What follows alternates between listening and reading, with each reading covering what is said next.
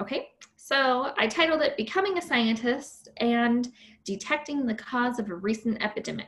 So this simulation is going to give you a couple of missions, and one of those missions is to find out what's causing people to have kidney disease. There seems to be a sudden epidemic of kidney disease. Um, and so they're going to have you um, design an experiment to test that. Um, so in this simulation, you will learn what the scientific method is, how to apply it, what is a hypothesis, what is an experiment, what's a model organism, experimental variables, right? So what's a control variable, what's a negative control variable, what's a independent and dependent variable, right? Um, then we're gonna talk about fluorescent microscopy and fluorescent cell death assay. Um, and then uh, kidney, the, the kidney disease, okay? So this is, this is the order in which it should appear when you do your simulation. Uh, the order that I talk about it might be a little different. Okay, so um, the scientific method, as I'm sure you're very familiar with from previous classes, um, is a continuous process where we, uh, we make observations and we ask questions about those, and then we try to answer those questions by doing some background research to see, okay, what does the scientific community already know about this topic, about this question that I have. Um, and if we don't feel certain with uh, an answer, uh, like we want to contribute more information on that topic, then we might construct a hypothesis so that we can conduct experiments to answer that question. And I know that um, this Labster simulation is going to say prove or disprove. And really, we don't use that language in science. I have yet to ever read a scientific article, uh, published journal that says prove or disprove. Really, we use the language support or not support. Um, so try to to do that, but I know uh, since you're going to see it in the Labster, it might be a difficult habit to break. Um, Okay, so the scientific method consists of techniques to investigate phenomena, uh, to acquire new knowledge, or correct um, previous knowledge. So sometimes we we gather information and we didn't have the best tools available. Uh, we didn't have as much other knowledge, and so we might have come to some incorrect understanding of it. Um, or yeah, there can be lots of reasons why we need to continue to correct and expound upon knowledge. So when you do that background research, you don't just take the first answer that you find, but you look for is there a lot of different experiments that have come to the same conclusion? Um, and if there are, if there is a large body of support, then you would probably not continue to do more research on that, but you would pick something else. Okay. Um, let's see. Oh, okay. So in this flow diagram, uh, it's not necessarily always done in this particular order, and you don't necessarily see every single box utilized, but this is a general um, overview of what the scientific method looks like. Okay, and you should see this same diagram when you look at the theory tab on, um, on Labster. Okay, so a hypothesis has to be constructed so that you can test it, okay? And it should be trying to give an explanation to the question that you posed. So you made some observation and asked a question and now you're proposing an explanation or an answer to that question. And so it should read similar to if then statements, right? It should lead you to make a prediction that can be tested. Okay, so hypothesis must be testable. It should be an uh, if then statement. And interestingly, this if then statement, if X then Y, uh, it also means that the X would stand for your independent variable and your Y would stand for your dependent variable. So the independent variable, if you uh, forgot, is the variable that you, the experimenter, can change. And then you want to see what that change does to your dependent variable. So you don't change the dependent variable, but you measure it and observe it to see if it has been changed by the independent variable, okay? And so if we look at plant growth as our, um, something we have a question about, right? So uh, maybe we ask ourselves, I wonder if water is the best um, liquid to use uh, for growing plants. And you might decide to test soda and orange juice and water and compare and see if there are any differences in growth. So your controlled variable would be water and your dependent variable would be the uh, height or the uh, width of the plant, um, how many leaves it has, does it um, produce as much fruit, is that fruit as um, big, etc. right? So the independent variable would be the uh, like the soda, right? And then the um, the dependent variable would be the plant. And I know that this looks confusing because it's showing this picture of juice and then it has this arrow that says dependent variable. Please note that it's showing the ruler as being the dependent variable. So the growth of the plant is the dependent variable, not this orange juice. Okay. So I typed up a couple of example hypotheses for you to look at to feel more comfortable with. You certainly could create more than just these two, um, but I just kind of picked what seemed easy and, and obvious to me. So um, let's say we think the orange juice will be the best liquid to grow. And let's say the plants we're using are specifically tomato plants.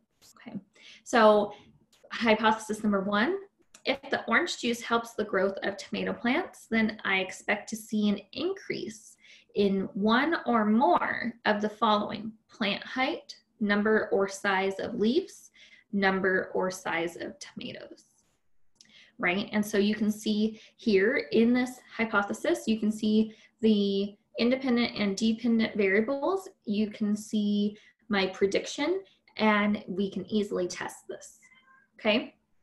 Um, example hypothesis number two, if soda is harmful to tomato plants, then I expect to see fewer or smaller tomatoes grow when watered only with soda.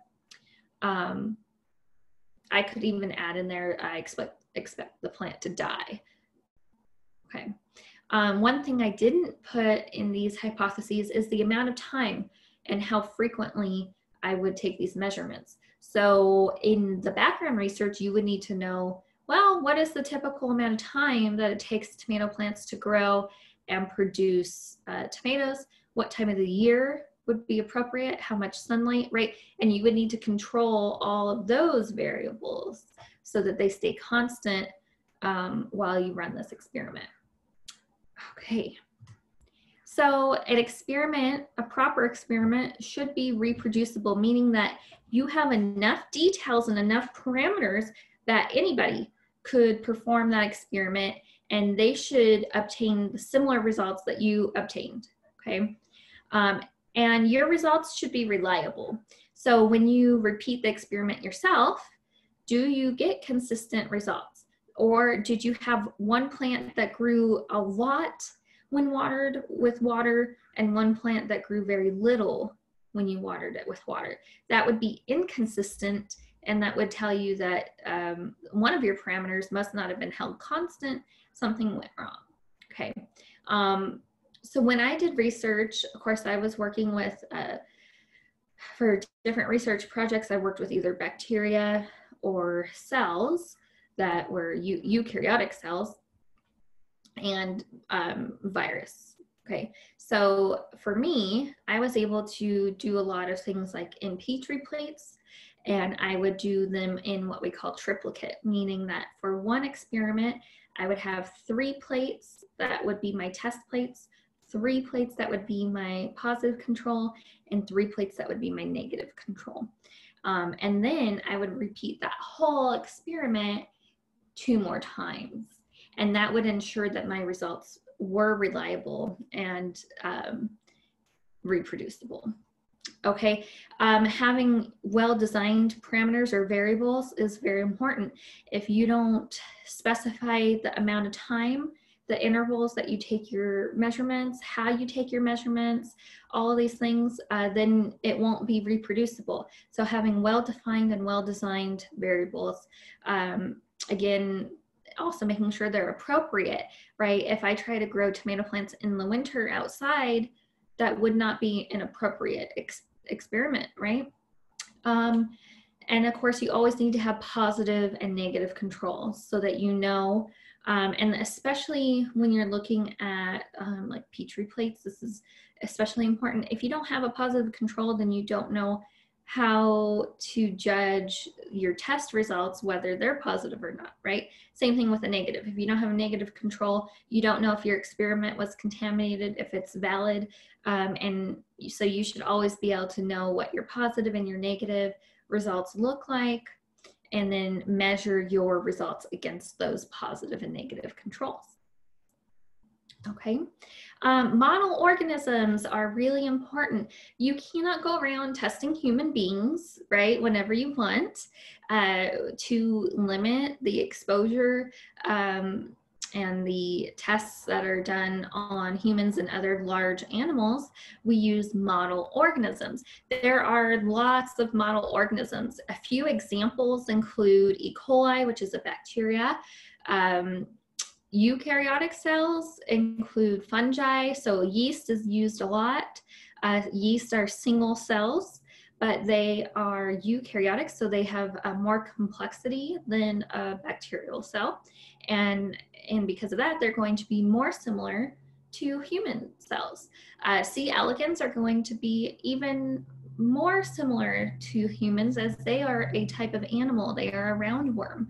Um, fruit fly, same thing goes for that. Um, a flowering plant, which is right here to the right, Arabidopsis, uh, is also a common um, model used. Now, when it comes to the plants, we don't usually use plants when we're trying to learn about um, human uh, diseases or things, but it is a model organism that's used to represent other plants. Um, and then we have uh, mice uh, when we have to we, we can use mice.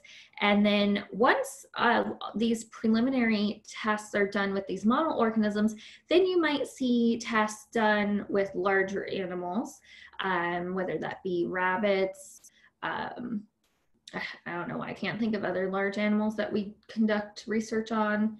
Um, it's very rare that we conduct any research on um, on apes anymore, um, but sometimes we do still have to if there's no other model organism that can can work. Okay.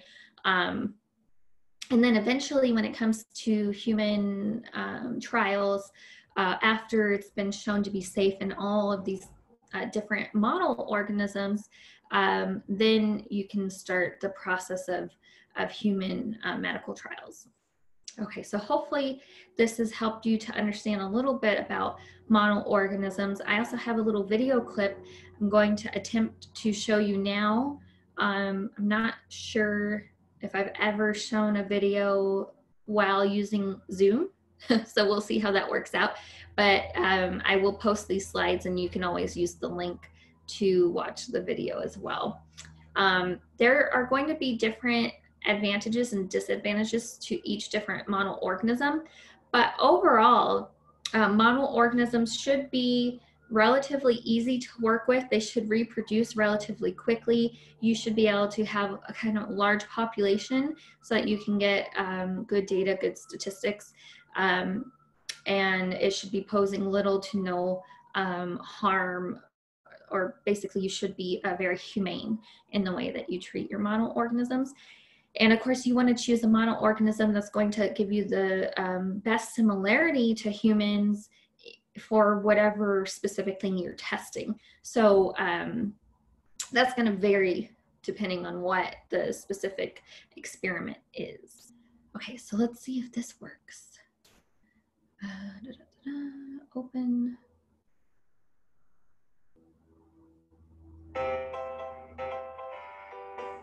Meet the fruit fly, Drosophila melanogaster. This common kitchen pest is actually a powerful research tool for studying human health and disease. How can we learn more about humans by studying a fly? Well, it turns out that fruit flies and humans have a lot in common. About 60% of the genes in fruit flies are also found in humans, and two thirds of genes involved in human cancers have counterparts in fruit flies. These similarities allow researchers to use fruit flies for experiments that would be impossible, unethical, or cost prohibitive in people or other complex organisms. For example, researchers at the University of Michigan Life Sciences Institute are using fruit flies to better understand Down syndrome and to search for potential treatments. In Down syndrome, high levels of a protein called DSCAM leads to an overgrowth in the brain neurons, causing faulty connections. Researchers can recreate the same problem in flies by manipulating their genes. Bing Ye, a faculty member at the Life Sciences Institute, identified an existing cancer drug that could block the overgrowth of neurons in flies. Now, further research is being done to see if this might be a safe, effective strategy for humans. And flies aren't the only model organisms advancing our understanding of human health. The same yeast that creates delicious bread and beer also holds clues about the function and malfunction of human cell processes. Many human conditions, ranging from neurodegeneration to cancer, result from the disruption of basic cell processes. Scientists can use yeast to manipulate genes and learn more about these fundamental aspects of biology. In Lois Weisman's lab at the Life Sciences Institute, researchers use yeast to work out how organelles within each cell get moved to the right location at precisely the right time. This work has the potential to shed new light on neurological disorders and other diseases. Understanding how the system is supposed to work is critical for understanding what happens when things go wrong. Yeast research earned Nobel Prizes in 2001, 2006, 2009, 2013, and 2016. And even millimeter long transparent worms called C. elegans can help us understand more about how our bodies function and respond to disease. Despite its small nervous system, C. elegans can perform many behaviors that correspond to complex human behaviors. That's one reason why Life Sciences Institute faculty member Shawn Xu uses it to study the biology of our senses. For example, his lab showed that even though these tiny worms don't have eyes, they still respond to flashes of light. The researchers also discovered a new light receptor in the worms that's 50 times more efficient than the rhodopsin in the human eye. This new receptor could be used to help develop new research tools or even better sunscreen. So scientists don't study flies or yeast or roundworms to learn about these organisms, but to better understand the basic biological processes that shape health and disease. All right. So if that was hard for you to hear, you can rewatch that. And there's also closed captioning um, that you can use as well. Um, but hopefully that worked. Um, and also hopefully you you realize the point of that video is not for you to memorize all the specific experiments that they talked about but just the overall idea that we can use different model organisms to learn about how it might work in humans without having to run those tests on humans until we know it's safe or not we know, and we learn more about it. So we're not doing all this research on yeast and c elegans and fruit flies because we're interested in yeast, C. elegans, and fruit flies, right? But we're interested in the application of what we can learn from those organisms and apply to humans. Sometimes we are interested in individual organisms, but usually we're interested in, in how it relates to humans. Okay, how's everyone doing so far? Any questions? Okay, so The, um, another um, aspect of the simulation that you'll see is fluorescent microscopy, which is super cool. It's also, um, I used fluorescent microscopy in my research, so of course I'm gonna be extra excited about it. And I included some really fantastic images uh, mine were not this interesting.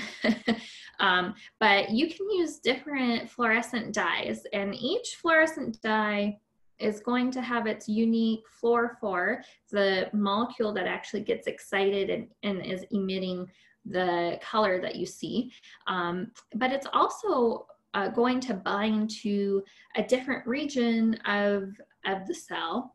And so in these images, you see two or more colors because they've used two or more, more different um, fluorophores um, or fluorescent dyes that bind to different regions. So in here, if you can see my pointer, you can see uh, the nucleus is, is showing up as blue. Um, some organelle that we don't know is this really bright green. Um, and it also looks like the cell membrane or cell wall, or maybe even cytoskeleton, ha has been stained because we're seeing a, a grid-like regular pattern around the whole cell. It's probably the membrane. Um, and here you see red as well. And so I don't actually know what organism this is or what they were studying in particular, but a lot of times what happens is you find um, a specific organelle of interest and you follow it over the life cycle of the cell and you see how it, what it's closely interacting with and how it changes over the life cycle of the cell. Um, and then you can also do tests to see um, if you are changing that um, those interactions and locations of the organelles. Um, and so here you're seeing an immune cell um, and this uh, is really neat because you're seeing the extension of the cell to move. And so if you're familiar with the immune system at all, you would know that we have phagocytic cells that are able to engulf uh, whether it be debris or an invading bacteria or virus. Um, and so that's what's being shown here in this um, picture. And then over to the right, we have a cell that's being grown on a flat surface. And so um, that's why it looks so different than this plump cell that you see over here. And in fact, looking at this, uh, it, it looks like it's a paramecium, um, but I can't be sure. Okay, so um, do you need to memorize anything in these top images? No, they're examples and, and they're pretty. And I wanted you to think, oh, wow, how cool is fluorescent microscopy? You could pursue that as your research um, as you get into um, a four-year university, you could ask uh, different um, professors if you could do research in their lab. Um, and let them know what your interests are. Of course, read their research interests first so you know if you're a match. Okay, so we can use fluorescent microscopy in a lot of different ways for a lot of different applications. And so one of those applications is to distinguish or differentiate between dead and living cells.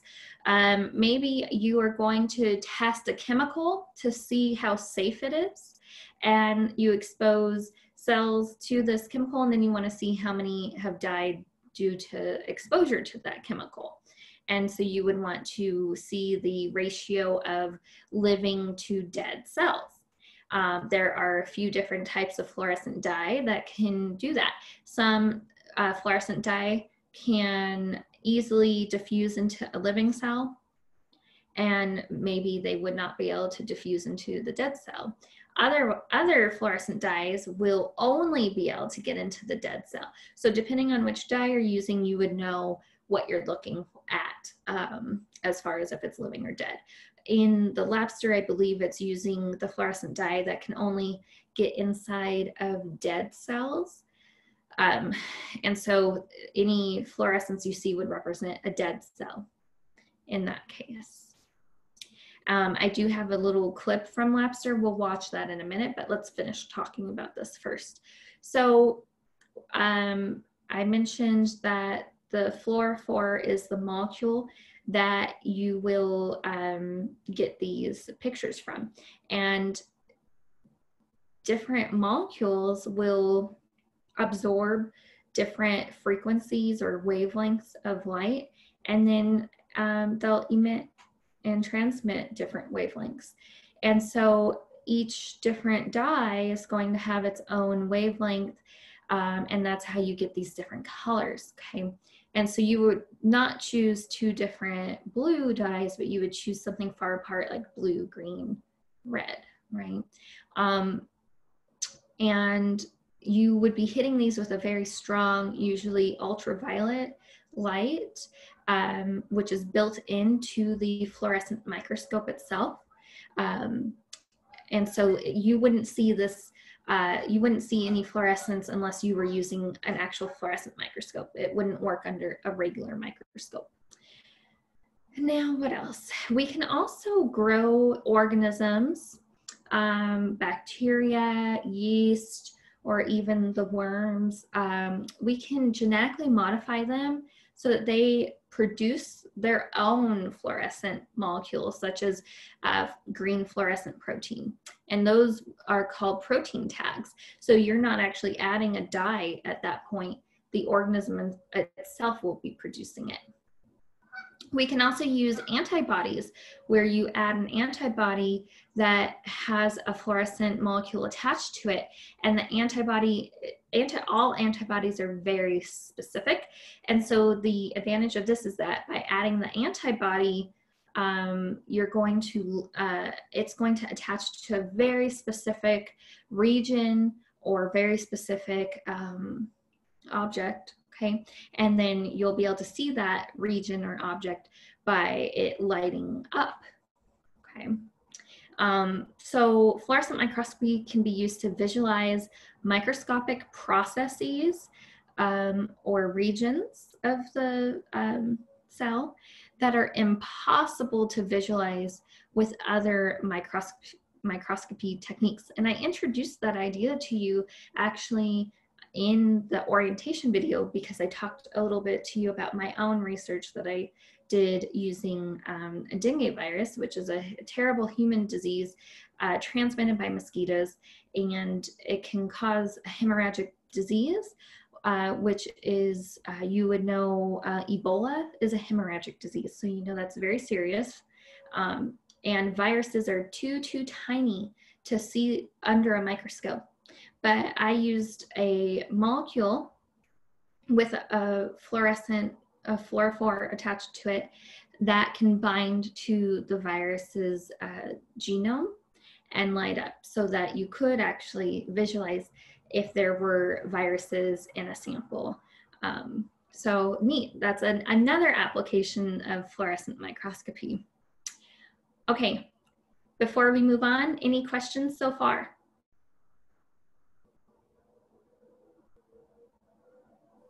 Um, I have a question. Yeah. So um, you use that to basically see dead cells. That's like a virus because that's not a living cell, right? So we have a lot of different applications, and one of the applications is to be able to distinguish between living and dead cells. But my application, all of the cells were alive. Some of them had virus in them, and some of them didn't. So it just depends on which specific assay or test you're talking about. So one of the tests that you'll be running in Labster will be uh, looking at live versus dead cells. Okay, okay, thank you. Mm-hmm. Okay, and I think this is uh, the last slide for the lab intro. Um, and this is talking about the kidney disease and specifically kidney disease that's caused by analgesic medications, any painkiller. So whether that be aspirin, um, acetaminophen, which is uh, the chemical name for the brand name Tylenol, so that you can have other products that have acetaminophen in them. Um, and you need to be very careful not to combine um, painkillers, especially if uh, if they both have the same ingredient, because then you can easily overdose. Um, caffeine, which we don't normally think of as a painkiller, um, but actually is helpful um, for some uh, anti-inflammatory uh, purposes. Uh, and then NSAIDs are stands for non-steroidal anti-inflammatory drugs. Um, and this is like your ibuprofen. So a brand name of ibuprofen that you're all familiar with is probably Advil. Um, and so uh, any and all pain medication, if you use too much of it or you use the recommended dose for a very extended amount of time, can damage your kidneys. Okay. And so um, that's one of the things you'll be looking at in the Labster simulation today. Um, I believe is you're going to look at was there an epidemic of a infectious disease or was it um, the kidney disease due to um, overuse of, of painkillers? And then um, some of the reasons why this uh, kidney damage can happen maybe the medication has decreased the amount of blood flow to the kidney and then the kidney tissue starts to die. Um, or you could have repeated uh, damage. We call it oxidative damage. This is when the immune system is actually um, working to keep you safe, but in the process, uh, damages, uh, while it's damaging bacteria, it also damages yourself. And if this happens uh, at too large of a scale, you can get enough damage uh, to your own tissue to to cause disease. And so in this case, it would be happening in the kidney. Um, and this could even happen from having uh, consume consumption of, of too many antioxidants. So this is um, kind of the easiest way to think of this is that if you were to take um, too many vitamins, right, where you have like your A, vitamin A and vitamin C and your B vitamins. Um, different vitamins can act as antioxidants, um, which are good, but if you have them in very, very high doses, can actually then do damage. Um, and regardless of the specific reason for the kidney damage, the symptoms would be progressive chronic kidney failure, uh, detecting protein and or blood in the urine, um, having high blood pressure, and anemia.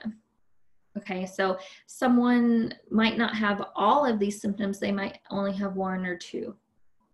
Um, and a small per percentage of all of these patients will end up having end stage kidney disease, which means they will have to be put on dialysis uh, in order to clean the blood of all of the different um, toxins and waste that your kidneys normally do. Um, and then your kidneys normally put all that waste into urine and you get rid of it through your urine. If your kidneys are not functioning, then they cannot do that or they cannot do that effectively enough and all those toxins and waste build up in the blood and make you very ill and so that's why you would need dialysis is to clean the blood um, because the kidneys no longer can okay so hopefully I've helped you to understand these different concepts. You will take your time, read through everything in the Labster simulation. Don't just try to click everything and get it done. okay, take your time, do it right and then hopefully that's the only time you need to do it.